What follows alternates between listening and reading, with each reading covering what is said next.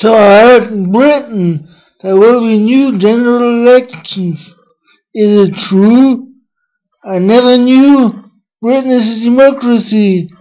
And with, with general elections, I always thought the Queen is the most powerful girl in England. So God save the Queen. Oh. oh a fucking strange country, guys. Goodbye.